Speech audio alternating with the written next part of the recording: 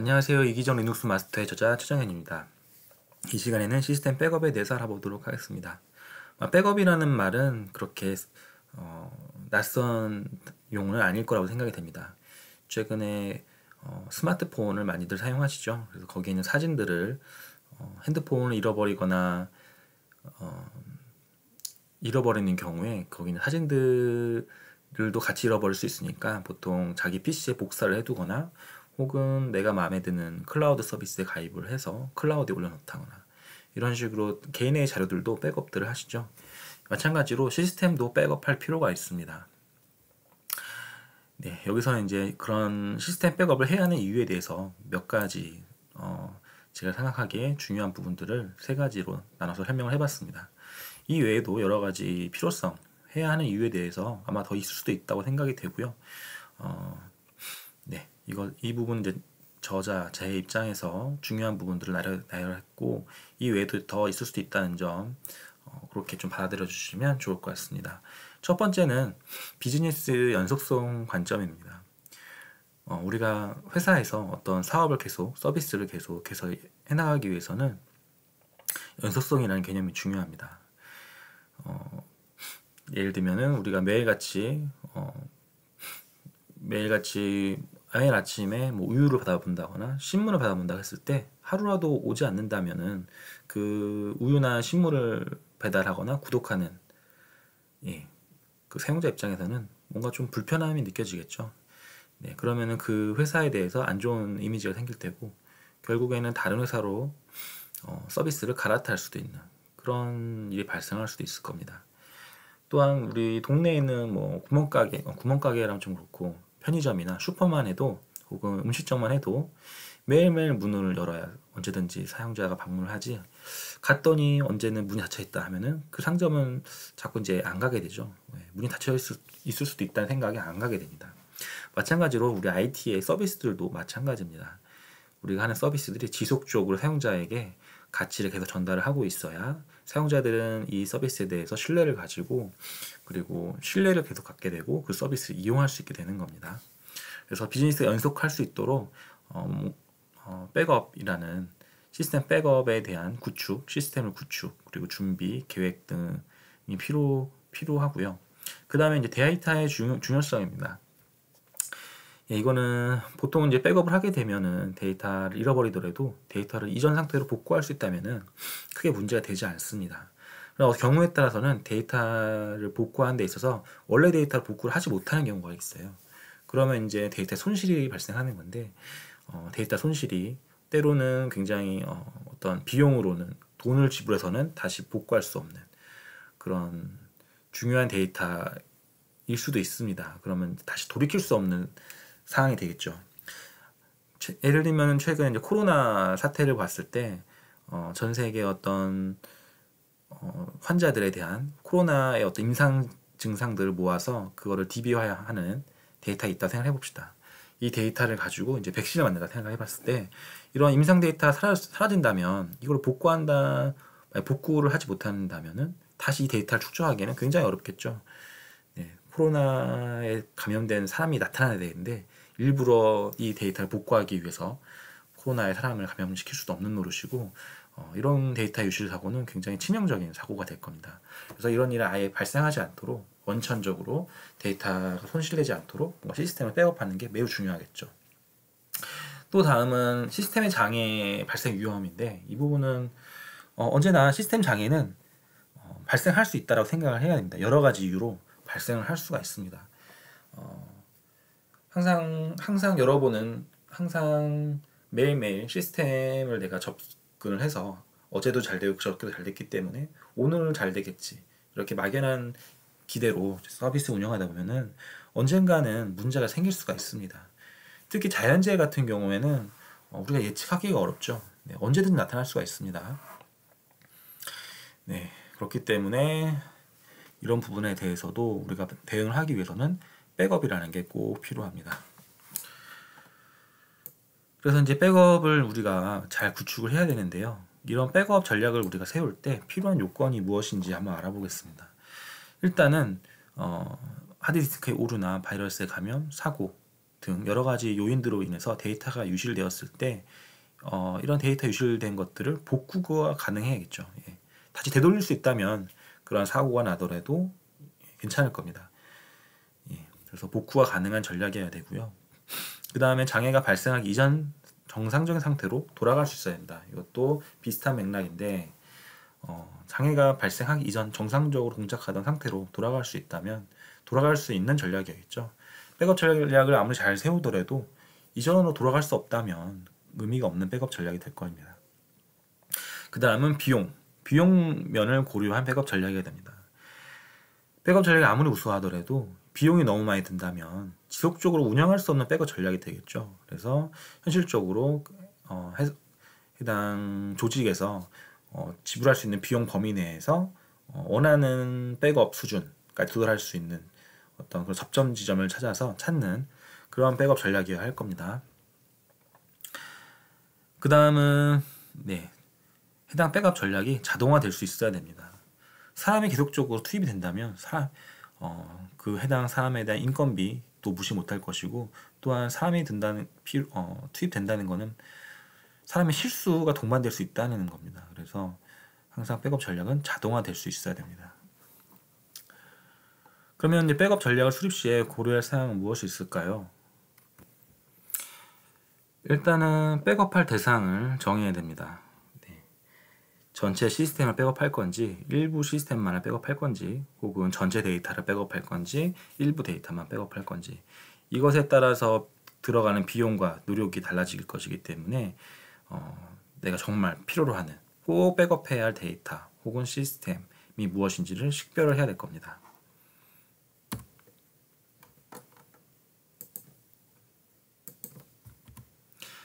그 다음은 그렇게 대상을 정했다면 어디에 백업할지를 정해야 됩니다.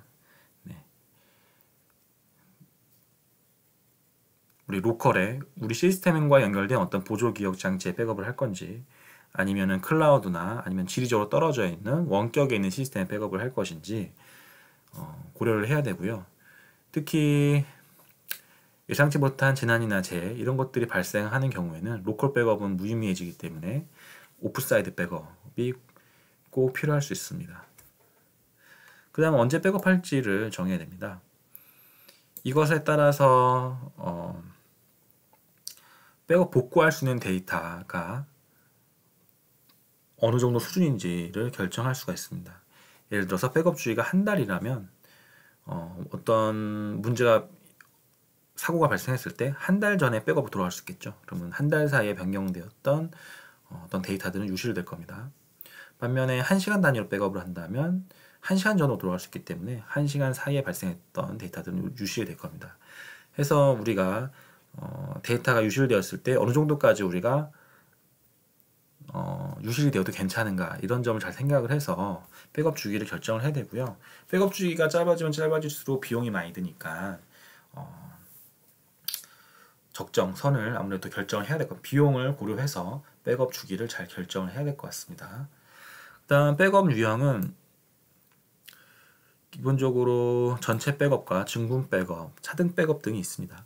전체 백업은 전체 시스템이나 전체 하드 디스크를 모두를 백업하는 거예요.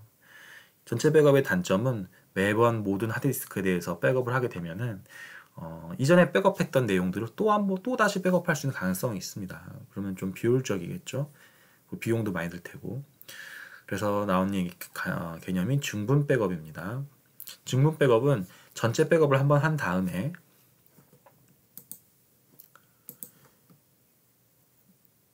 네, 이와 같이 전체 백업을 한번 한 다음에 그 다음에 변경된 사항만 백업을 하는 겁니다. 그래서 변경된 사항 백업을 하고 화요일 날에는 또 이전 거에 대비 변경된 것만 또 백업을 하고 이렇게 변경된 것만 백업을 이렇게 차곡차곡 쌓아오는 거죠. 그래서 복구를 할 때는 이 전체 대, 전체 백업 했던 것들과 이전에 했었던 증분 백업들을 모두 갖고 있어야 예, 모두 복원할 수 있는 특징이 있습니다. 그 다음은 차등 백업이 있습니다. 어, 증분 백업과 차등 백업은 유사한데요. 차등 백업의 다른 점은 어, 증분 백업은 계속 계속해서 그 백업을 할 때마다 백업 파일, 백업 데이터 파일을 계속 생성했던 반면에 차등 백업은 계속 누적을 합니다. 월요일 날 백업을 먼저 기본 백업을 하고 전체 백업을 하고 월요일날 변경생 사항이 백업이 됐다면 그 다음 날은 기존에 있던 월요일 백업본에서 화요일날 변경된 사항을 또 누적을 합니다. 그래서 백업 파일이 하나가 이렇게 생기는 거죠. 그 다음 날도 이렇게 누적이 되고 그 다음 날 누적이 되고 그래서 증분 백업과 증분 백업과 달리 차등 백업은 기존의 기본 백업 전체 백업 데이터와 최근 백업 데이터 이렇게만 있으면 전체가 복구가 되게 됩니다.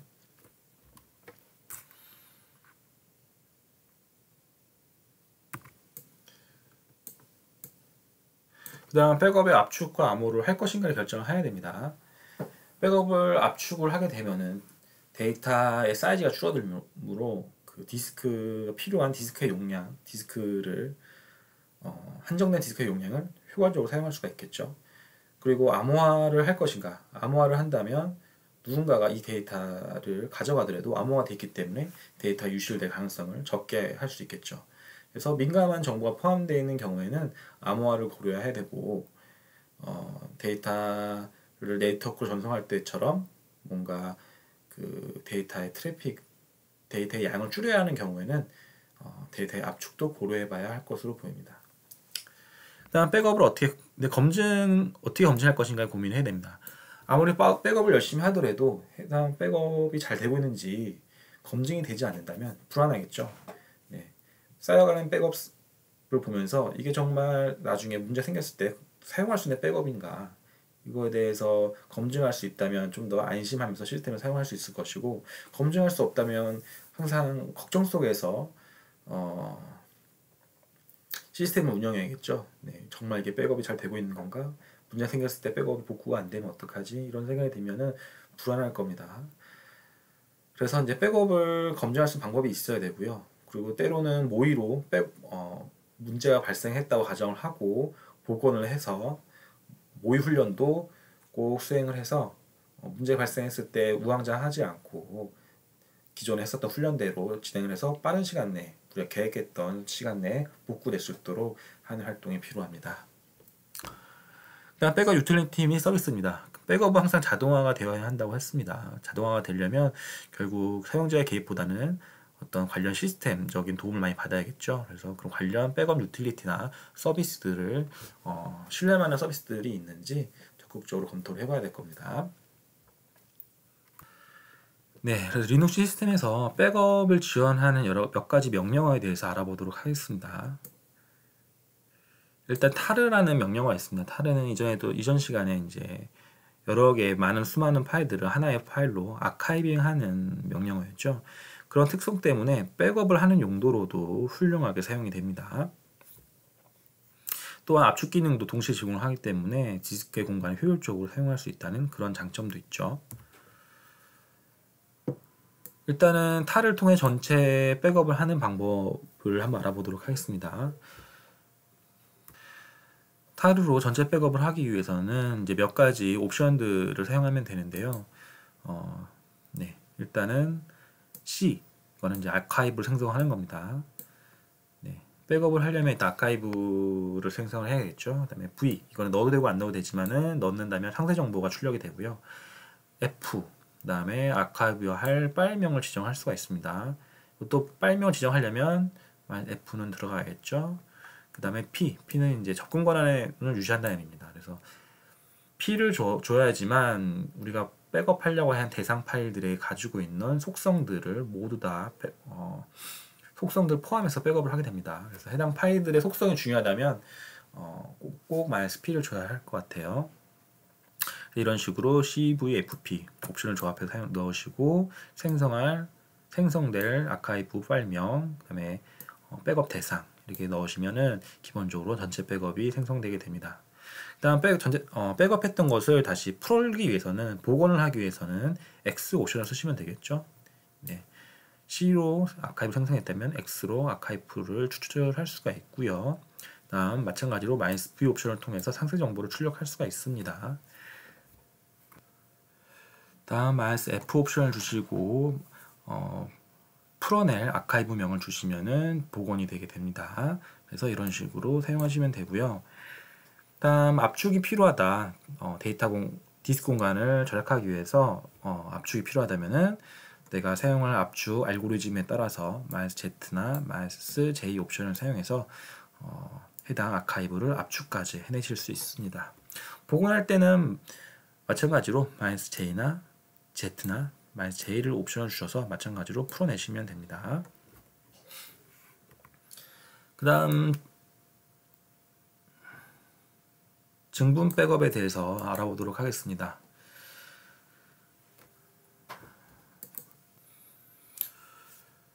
타르 명령어를 통해서 증부 백업을 하기 위해서는 가장 핵심적인 옵션은 -g 옵션입니다.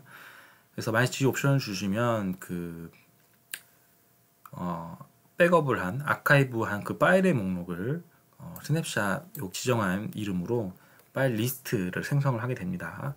그래서 어, 해당 파일 리스트를 가지고 어, 계속적으로 백업을 하게 되면은 그 변경된 내용만 어, 백업 파일을 생성하는 그런 효과를 낼 수가 있습니다.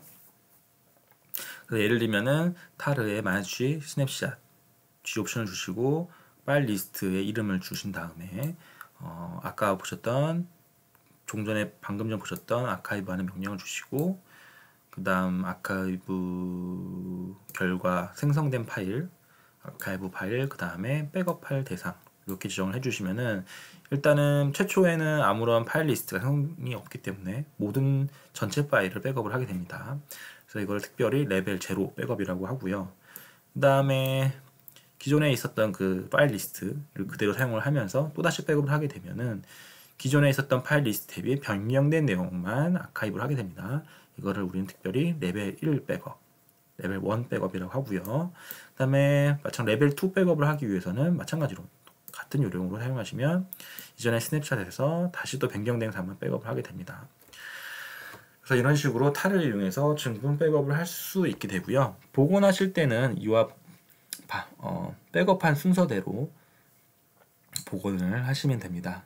일단 전체 레벨 제로를 먼저 복원을 하시고 그 다음에 레벨 1, 레벨 2 이런 식으로 모두 복원을 하시면 어, 증분 백업에 대해서 복원을 할 수가 되는 거죠.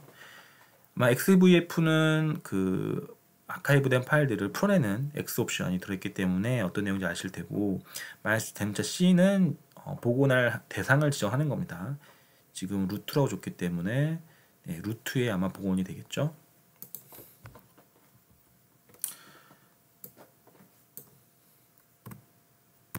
다음 CPIO 명령에 대해서 알아보겠습니다.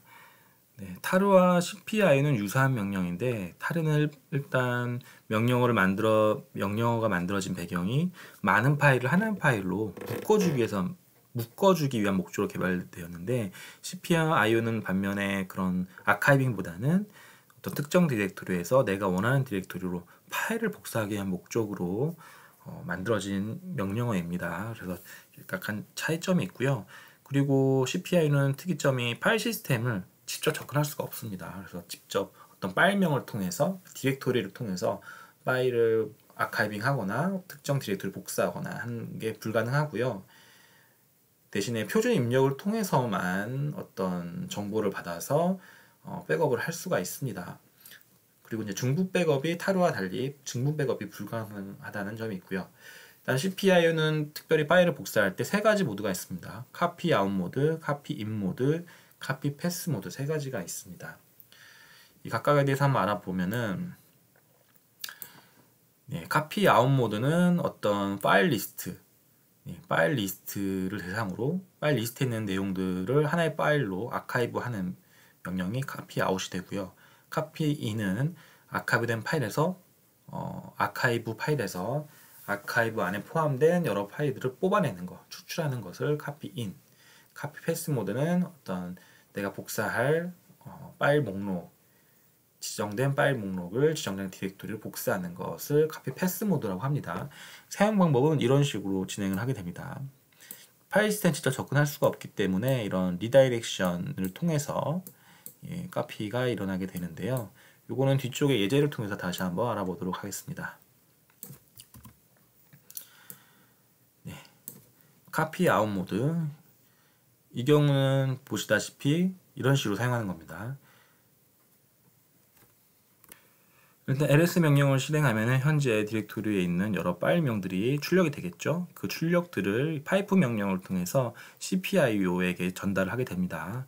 cpio는 어, 전달된 그 목록을 어, 결국에는 이런 tar 파일을 만들어지게 되는 건데요.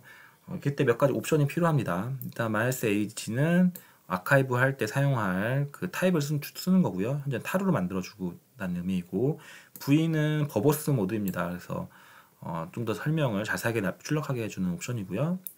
O가 이제 copy out 모드일 때 사용하는 옵션이에요. 그래서 O 옵션을 줘야지만 이런 식으로 어떤 리스트를 받아서 어, CPIO가 리스트, 어, standard in을 통해서 리스트를 받아서 어, 지정한 형식으로 아카이브를 할 수 있게 됩니다. 그 다음 copy in 모드는 이, 와 같이 어, 이와 같은 방법으로 사용하게 되는데요. 어, 만약 CPIO 형식으로 되어 있는 그 아카이브 파일을 내가 추출 그 안에 있는 파일들 추출하고 싶다면 이렇게 경로를 주시고 redirection을 통해서 CPIO에게 데이터를 주면은 CPIO는 해당 아카이브로 풀어서 네, 이때 마이너스 i 옵션을 사용하면은 copy in으로 동작을 하게 됩니다. 예, 파일들을 추출을 하게 됩니다. 만약에 직접 추출은 하지 않고 이 안에 들어있는 아카이브 파일에 들어있는 목록만 보시다면 추가적으로 T 옵션을 사용하시면 되겠습니다. 그 다음 copy pass 모드에 대해서 알아보도록 하겠습니다. 네, 아까 전에 리, ls 명령을 통해서 리, 그 내가 아카이브할 어떤 목록을 받았던 것처럼 find라는 명령을 사용해서도 내가 어, 아카이브 복사할 파일 목록을 받아올 수도 있습니다. 이때 depth라는 명령을 통해서 어, 해당 네, 지정한 디렉토리 내에서 어, 디렉토리나 파일이 여러 개가 있을 때 파일을 먼저 열거할 수 있는 명령이 이 depth라는 명령어고요. 그 다음에 마이너스 print 제로라는 옵션을 주면은 find로 찾은 그 결과가 어, 그 해당 파일을 null null이라고 하는 종료 string을 갖는 string의 목록을 어, 생성을 하게 됩니다. 그래서 CPIO는 이렇게 null string을 종료돼 종료 null 종료되는 string을 받기 위해서는 마이너스 마이너스 null이라는 옵션을 받, 어, 반드시 쓰셔야 되고요. 마이너스 p 옵션을 통해서 pass through 모드로 동작을 시키셔야 됩니다. 다음 d 옵션을 주시면은 뒤에 나오는 지정한 디렉토리로 어, 파일을 복사할 수가 있습니다. 정리를 하면은 이 find 명령을 사용해서 생성된 찾은 해당 파일들을 CPIO가 받아서 뒤에 있는 new 디렉토리에 파일을 복사한다. 이런 의미가 됩니다. 지금까지는 개별 파일들을 아카이브하거나 특정 디렉토리로 복사할 수 있는 명령 tar와 CPIO에서 대해서 알아봤는데 이번에는 전체 파일 시스템이나 전체 디스크를 대상으로 백업하는 방법에 대해서 알아보도록 하겠습니다. 일단 덤프라는 명령이 있습니다. 덤프는 주로 이제 파티션 단위로 백업을 할 때 지정한 파티션을 모두 백업을 할 때 사용하는 명령어고요.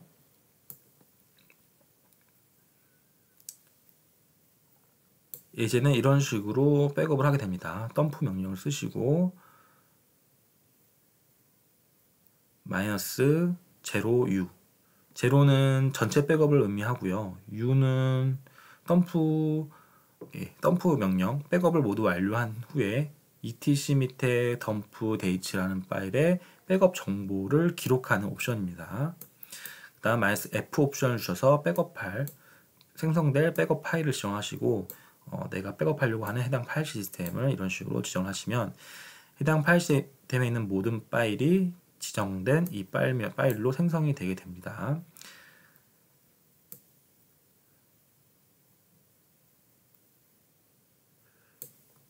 어, 특정 파일 시스템이 아니라 특정 디렉터리를 지정을 해서 백업을 하실 수도 있습니다. 네. 이런 식으로 사용을 하시면 되고요. 그 다음에 dd 명령어가 있습니다. dd 명령어는 지정 어, 지정한 디바이스에 있는 내용을 어떤 특정한 형식으로 변환하는 명령어입니다. 예를 들면은 CD, 디, 장, CD 디스크에서 어, 해당 CD의 내용을 특정 ISO 이미지로 추출할 때 예, 이럴 때 dd 명령어를 사용합니다. 그래서 사용하는 방법은 dd 명령을 주시고 if 옵션을 주셔서 어, 백업할 대상 해당 대상 그 장치를 쓰시고 어 그리고 어, 타겟 OF 옵션을 통해서 어디로 백업을 할 건지를 지정하실 수가 있습니다. 그래서 지금 같은 명령어는 SDA1 장치에 있는 내용을 SDB1으로 백업을 한다라는 의미로 보시면 될 것 같고요. 이때 백업할 단위는 1K 단위로 백업을 한다. 그래서 BS 옵션을 사용하고 있음을 보실 수 있습니다. 그 다음은 어, 특정 파일로 백업을 할 수도 있습니다. 그래서 SDA 장치에 있는 모든 내용을 특정 파일로 이렇게 이미지화해서 백업을 하실 수도 있습니다. 그 다음 restore라는 명령이 있습니다. restore는 덤프 명령으로 생성된 백업 파일을 복원할 때 사용을 하고요. 네, 이런 식으로 restore하고 -r 옵션을 주셔서 어, 복원하기 위해서 -r 옵션을 주시고 F 옵션을 주셔서 복원할 파일을 지정을 하셔서 복원할 수가 있습니다. 또한 마이너스 i 옵션을 사용해서 대화 모드로 restore 명령을 구동할 수가 있습니다. 그래서 마이너스 if라고 옵션을 주시면 이런 식으로 대화형으로 내가 선택할 수 있는 명령어들이 나오고요. 여기서 이 해당 명령을 실행함으로써 복원을 수행할 수 있는 그런 기능이 되겠습니다. 다음은 네트워크를 통해서 백업하는 방법에 대해서 알아보겠습니다. 리눅스에서는 네트워크로 백업할 수 있는 간편한 명령어를 제공합니다. 별도의 패키지나 패키지를 설치할 필요 없이 기본적으로 제공을 해서 편리한데요. 어, 그 중에 가장 대표적인 명령어가 rsync라는 명령어입니다. rsync는 로컬 컴퓨터에서 원격에 떨어 뒤떨어져 있는 호스트에 파일을 복사할 수가 있고요. 그리고 관련된 다양한 옵션들을 제공합니다. 특히 델타 전송 알고리즘이라는 것을 적용을 해서 어, 파일을 복사할 때 어, 빨간 변경된 사항만을 차이점만을 복사하는 델타 전송을 사용해서 어, 빠르게 데이터를 복사할 수가 있습니다. 예를 들면 델타 전송이라는 건 이런 겁니다. 어, 내가 A라는 시스템에서 B라는 시스템으로 파일을 복사할 때 어, B라는 파일 원래 A라는 시스템에 과 B라는 시스템에 동일한 파일이 있었습니다. 이 두 개는 같은 파일인데 A라는 시스템에서 이 파일을 변경을 해서 이만큼 차이가 생겼다고 해보시죠. 그랬을 때 이 파일을 B로 복사할 때 기존의 빨 복사 명령어 같은 경우에는 이 전체를 복사해서 해당 경로에 덮어 쓰는 반면에 rsync는 델타 전송이라는 알고리즘을 통해서 이 변경, 이 차이점, 이 부분만 전송을 하게 됩니다. 그래서 전송을 해서 이쪽에다가 이렇게 붙여넣게 되는 거죠. 이런 방식으로 비약적으로 성능을 향상시키는 이런 방식을 채택을 하고 있습니다. 그래서 다양한 기능을 제공하고 있는데요. 일단은 속성들을 그대로 복사할 수가 있고요. 그 다음에 내가 어, 백업을 하고 싶지 않은 복사를 하고 싶지 않은 예, 파일들을 지정을 해서 지정을 할 수가 있습니다. 그런 제외 기능을 제공을 하고 그다음에 제외 기능과 비슷하게 어, 예외 기능이라는 게 있습니다. 그래서 특정 확장자나 특정 키워드가 들어간 파일들은 전체 파일을 복사하더라도 이런 것들은 기본적으로 무시하고 파일을 복사하지 않도록 하는 예외 기능이 있고요. 그 다음에 원격 쉘을 지원합니다. 네. 그리고 파일을 복사할 때 예, 사용자 권한을 같이 복사할 수 있는 기능이 있고요. 그 다음 파이프라인 전송 및 임명 및 사용자 인증 이러한 기능들을 제공을 하고 있습니다. 사용하는 방법을 보시면 이런 식으로 사용을 하게 됩니다. rsic 명령을 주시고 -a 옵션을 통해서 네, 여러 파일들을 하나로 묶는 묶어주는 아카이브 모드 동작하기 위한 -a 옵션을 주시고 -v는 어, 상세 정보를 출력하는 명령어입니다. z는 해당 아카이브를 압축해서 보내는 명령어예요. 그래서 홈에 있는 어, 디렉토리 이하의 모든 파일들을 아카이브를 해서 아카이브 후 압축한 다음에 어, 원격 프랜시스라는 원격 호스트의 public.html 디렉토리 이하에 복사하는 예제가 되겠습니다. 네. 지금까지 시스템 백업에 대해서 말씀드렸고요.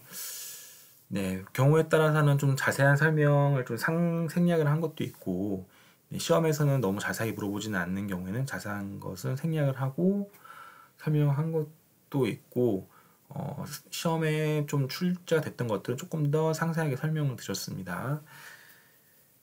가장 중요한 거는 일단 내용을 보시고 이론 일단 한번 쭉 읽어보시고 어, 기출 문제를 통해서 어, 시험에서 어떤 식으로 출제 출제가 되는지 감을 잡으신 후 필요한 부분에 대해서 다시 이론 쪽으로 돌아와서 어, 공부하시면 좀 더 효과적인 학습이 될 것 같습니다.